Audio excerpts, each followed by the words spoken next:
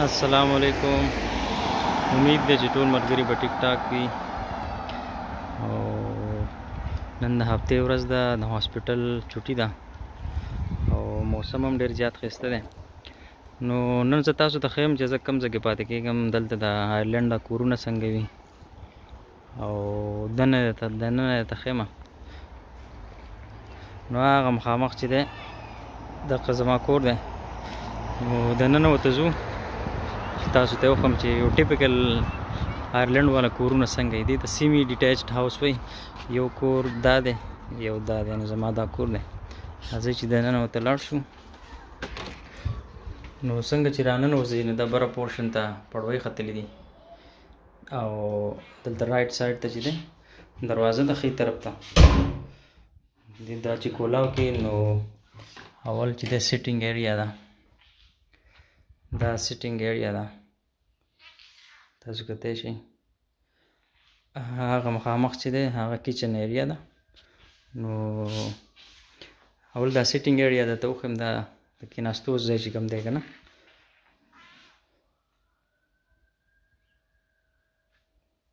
دا پکې ټي وي دی او دا پکې انګیټه ده دا اور د بلولو لپاره دا کچن ایریا ده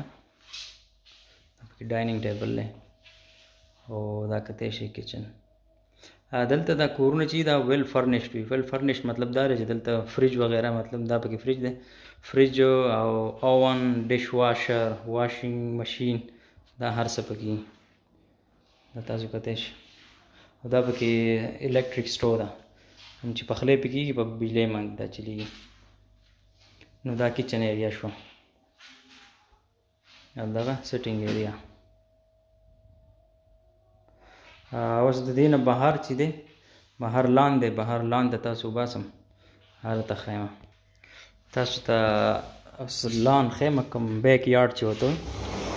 ما د کور سره چې کوم شا طرف ته دغه دی سهن دی یا لان دی که نه دا ګوري دا پکې څه پلی ایریا پکې هم د ماشومان لپاره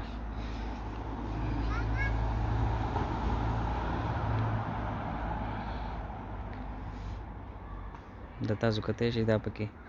لان دی دا مالک مکان لک سات مخکې راغلی نو هغه ګراس کټ کړ اوس ډېر مزیدار ښکاره شول چې دننه لاړ شو بیا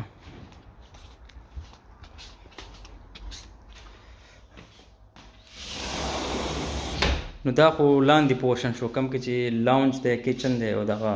بیک یارډ دی خو هسې بره پورشن ته تاسو بوزم کم کې چې کمرې دی هغه راته هم ښایم راځئ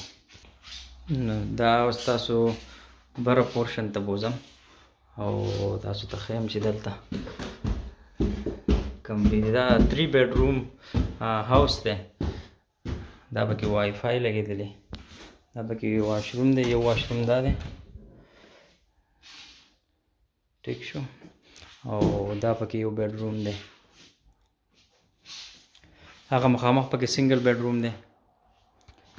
دا چې د دا واټر ټانک ته کوم هیټینګ سیستم چې دی دا وبو ګرمي دا هغه دی دا پکې بل ډبل بیډروم دی نو بر پورشن کې چې د درې کمرې دی یو دا سنگل بیډروم دوه ډبل بیډرومز دي ټیک ده او نو دا کور دی دا اپر پورشن دی بیا به لاندې کوز شو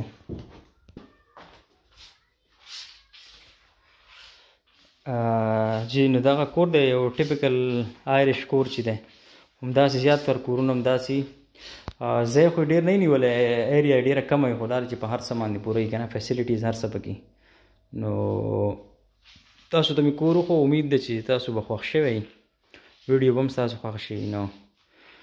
ویډیو لایک کړئ او شیر هم کړئ ټیک ده دا بل د دې کور وس رینټ څومره دی دا راته وایم کورونه نن سبا ډیر زیات ګران شوي دي نو دا یو ښه کور دی دلته نو د دې رینټ چې دی زه بارا سو پچاس یوروز منتلی ورکوم نو د هغې نه څومره جوړېږي تاسو به خپله کالکولیشن وکړئ ټیک شو نو خپل خیال ساتئ انشاءالله نیکسټ ویډیو سره به بیا ملاقات کېږي الله پامان